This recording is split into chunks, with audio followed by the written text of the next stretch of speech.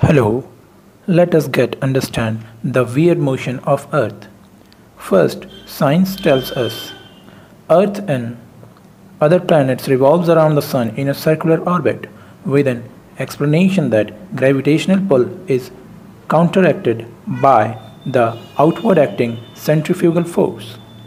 The moment we digest this idea, science tells us that now Earth and other planets revolves around the sun in an elliptical orbit and sun stays at one of the focuses. So now the question arises that why the orbit of the earth is not circular? Yes, it's not circular. So let's understand this. It is because of a hidden truth. It is because of the motion of the sun. Yes, my friends, motion of the sun. Sun revolves around the center of the Milky Way where a black hole is supposed to be present. When Earth get revolves around sun at the same time, sun revolves around its own center of gravitational pull.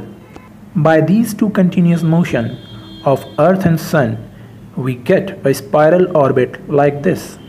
Yes, it's not an elliptical orbit, it's a spiral orbit. In actual, Sun's orbit and Earth's orbit lies in different plane.